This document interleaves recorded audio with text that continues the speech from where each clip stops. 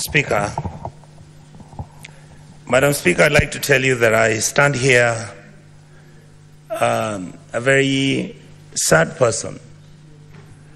And yet, indeed, I'm also deeply happy because it has been something that I've been dealing with at a personal level in terms of my responsibility as a legislator. Madam Speaker, before I proceed with saying anything, I would like first of all to mention a few names. I want, just like my colleagues have said, my brother Aaron Cheruiyot, I knew you were worthy, but I now know you are much more worthy than I thought you were. You have actually surprised me. I remember once I made a phone call to you and I was asking you, how do we manage this thing of Madam Nyakango? And you said, please tell her to know that we are trying to figure out what to do. And I took the message, and that's when I knew that you are a serious person. I'm proud of you. Keep it up. Madam Speaker, I also would like to mention the name of Madam Nyakango, who's the controller of budget, and Madam Nancy, who's the uh, Auditor General, the two incredible women of this republic. If I had my own reward, I would give them. Because when everything else seems to have been failing, some of us have been talking to them, and all the time we feared for their lives. Why? Not because anything would happen, but the costs were too high. The expectation was much higher. They have done their job, and I'm so happy that this house which is known as the oversighting house, has seen the light. My colleagues who are in this house, I'm very lucky because I've, uh, sorry, I've lost my voice a bit. I'm lucky because I've, I have the institutional memory. I have been in politics for the last 30 years. Those 30 years I've been in elective politics, about 22. Madam Speaker, the problems, the way Mzee Odinga said, about Kenya have not been started by President William Ruto. If you look at the history, and Madam Speaker, the other day people were asking me, how did you tell that these young Gen Zs are actually going to come to the streets after one year? I said, I look at the trend. If you look at independence 1962-3, that was the 20 years beyond where the uh, liberation movement took place. After that, we got independence. It took another 20 years for us to have a military coup. The people who are guiding and who are in within that military coup are not old men like Jaramogi or Charles Njonjo at that time. It was young Gen Z students of the University of Nairobi and young people who believed in the ideal of what Kenya was. The second issue that came up, Madam Speaker, was after, by the year 2002, there was another 20 years. Then you come to 2022, I mean, to 2002 is when Kibaki was elected, is when we have a referendum, is when we have a new constitution, and then we say Kenya is now on the right path. After that, Madam Speaker, we did not follow the letter of the constitution. What many of us have never understood is that your democracy is as valid and as reasonable and as verifiable and is implementable as the people who are willing to follow and implement that constitution. We have completely failed our people. And that is why when the elections took over and we had challenges, and that is why when you look at our country and the crisis that has come up, when you look at the issues which are bedeviling our country, you realize that we are on quicksand. Unless you have old men and old women, people of dignity and decency, people who have got wisdom, people who are not greedy to fix this country, we will not have a country very soon. Madam Speaker, I've served as an assistant minister. I went to Cote d'Ivoire, sent by President Kibaki to go and visit President Gbagbo. I got into his house. He was wearing a vest. That time, the military was around him. He was being deposed. Two weeks later, he went home with his wife. They were half naked. Those sins are not sins that Africa should be proud, proud of. Madam Speaker, our country has broken down. Our country has challenges. But before I go to how, in a short notice, what we can do, I would like to ask the President, and I asked him the other day, the children who died and the children who are in the prisons, please remove them. Those who have died, I want to ask this House, the Senate, let us make sure that those children get a state funeral. Those who are not criminals, these are children who had reached a dead end. Madam Speaker, what is wrong with our company, our country? We call it a company with shareholders. Our country is not a company. Our company is Kenya, which is a state. It has 50 million people who all expect and demand certain services from the state. We, the politicians in this house, I heard my colleague speak. I am so happy that we are now telling each other the truth. We are the ones who carry militias. We are the ones who go and carry cattle rustlers. We are the ones who have got companies that are doing business in government departments. We are the ones who are stealing the money. Look at the national government, I'll call it down, bring it down to the National Assembly.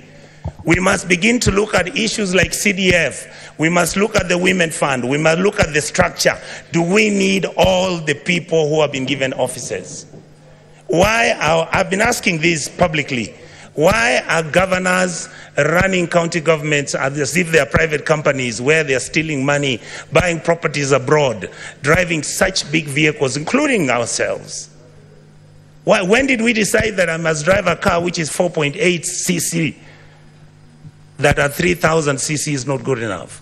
When our children don't have medicines, when our women are not giving birth, when we can't feed our, class, our children, when we buy fertilizer, we deal on it, we sell some of it, we sell mchanga. We are bringing in maize when we are supposed to be planting maize and giving uh, farmers fertilizers and giving them funds so that we can get production and increase that so that we create jobs for our people. It is we politicians who and buy 2 million tons 2 million metric tons of maize. We come and sell. We bring 3 million metric tons of sugarcane.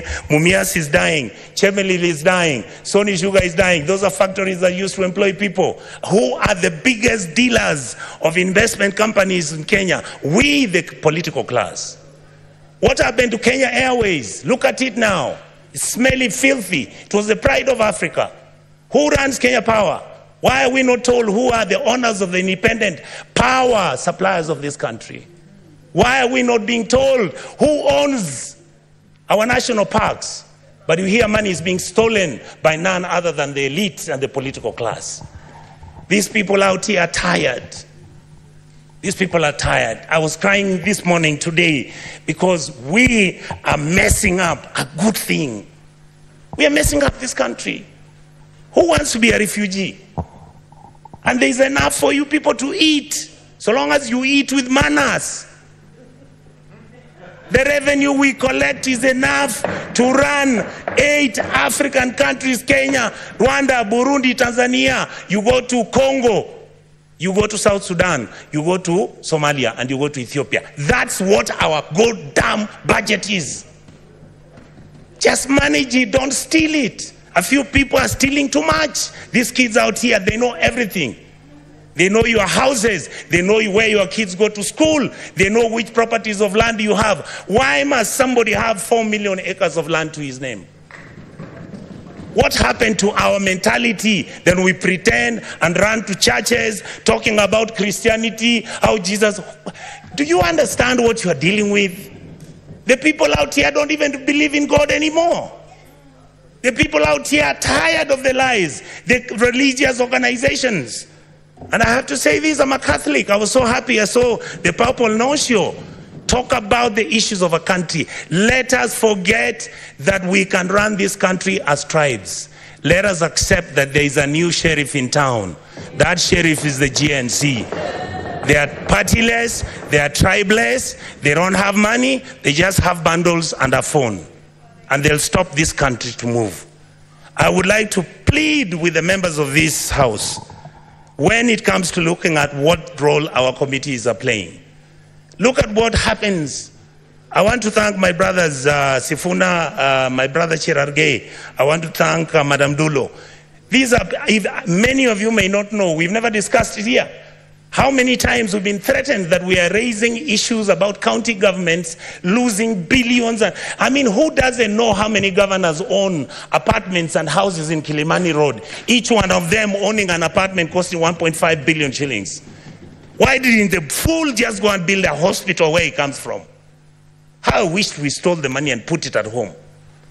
Some of them are going to Dubai. People are going to America. You see on social media. I just bought me. I just saw somebody commenting saying that oh, the senators got nothing to do. I want him to tell me how he bought a Bentley and is an MP. Explain to me, how does somebody, I mean, the truth is, I'm born with advantage and privilege. That is the truth. I saw my father driving a big car when I was a small boy. That is not what drives me. What drives me is how do you get a member of parliament driving a Mercedes that costs 49 million shillings? And we are watching, and that is normal, and it is okay. And it is okay. Shame on us. Then we make sure this money doesn't go to the schools. We make sure that hospitals have no money. We start building hospitals now. We want the poor people to come to those hospitals. Poor people can't come to Nairobi Hospital. They can't come to Aga Khan. They can't, some of them can't afford Kenyatta. You saw the other day, Kenyatta has a debt of 6.6 billion. The Eldoret Hospital Eldoret KTRH has a debt of 3.9 billion. When you ask, they tell you we don't know where the money went. Are we fools? Do we need to buy houses which have got 15 bedrooms and drive 19 cars and put them in your parking lot and you want 10,000 acres of land? You want a ranch? You fools, you go and buy a ranch in Australia. This is where we are. We keep blaming the police. The policeman cannot do anything. Have we ever gone as a Senate to go and see where the police lives? How he takes his kids to school and his salary is 19,000. And this house has to start thinking about those things. We guys must begin, and we ladies and gentlemen in this house must begin to agree that we can reduce our salaries, that we can drive smaller cars, that we can wear kaundas. In fact, the only thing I'm very annoyed about the president, I'm the one who started wearing kaundas. Now he has given kaunda a bad name. I want Kenyans to love kaundas the way I loved them. Let us wake up, Kenyans. We can't play football. Money comes from FIFA, it is eaten. World Rally Championship, money comes from there, it's eaten. You go, you want Kenya Lawn Tennis Association, they only want 50,000 to hold an international uh, tennis tournament. Not even the minister appears there. But when the minister is traveling out of the country, he's got how many people? Private jet, goes to Dubai, books one of those hotels, luxury hotels, and he comes back to Nairobi with the same nine people he took with a private jet and you assume that the Gen Zs don't know. These days they track you. They can know which private jet you took, where it went, and how it came back. Many of us are worried because either because of history or because of what has happened, we have got a lot of money now, we are owning so much land. Please allow us to have spatial planning. Your land, we can have an implemented law in this house to protect your even identity. But please don't stop stealing public land. Let us have mercy at our people. You saw people in from Eldoret and Kakamega talking about, oh, our chambers which our grandfathers left for us. Now you guys who are MPs and senators, you come, you chase us away, and then you throw us into court. You go and bribe the courts. And I want to talk about the judiciary. We respect you. We know that you are most of the time under the pressure. We know there are certain things which you can even be blackmailed, but we want to hold you at a higher standard. We must hold the judiciary at a higher standard, the legislators at the higher standard, and make sure the president is also at the higher standard. That is how we can, we can move as a country and stop this nonsense. We can't we behave like monkeys running through a forest looking for bananas without knowing whether it's bananas they want or it's oranges. I really, really want to say this, Madam Speaker, finally. I was nearly giving up on my country. I have changed my mind because of today. The young men who are fighting for this country have done us proud. Let us treat them with dignity. Let us make sure we engage them. Let us stop doing the things which make them angry, desperate, and upset with the ruling class. The truth is, if this country breaks down, it takes all of us down. I can tell you, I was in South Sudan when we were doing the comprehensive peace agreement. I visited as a minister, as a young minister, to go and do what was called a referendum. I've been to Khartoum. I have been to Mali. I've been to uh, um, a country in West Africa. Um, I'll remember the name, Madam Speaker. You look at how people have been treated and how the political class has treated their people. Everybody looks destitute and everybody is desperate. Let us change our ways. We can run the country peacefully, make sure everybody is a person of dignity. Let's treat our people kindly. A country that never takes care of its most vulnerable is a country that is not worth talking about. So I want to ask the political class, I want to ask all our auditors, I want to ask all members of the county assembly Please, members of the county assembly, your job is to oversight, the MP's job is to oversight, and the senator's job is to oversight. Let the governors run the place. If they bribe you, you will not get development. Let us agree that those are the rules that we'll have to operate with. And let us share the cake of this country equitably and fairly let us not have one region getting 50 billion when one area's got only 1.2 billion. And when you are giving scholarships, why should we have three scholarship funds in this country? Those are some of the things, Madam Speaker, without speaking too much, I wanted to vent. And I thank all my colleagues for having shown our country the love that it deserved. Thank you so much.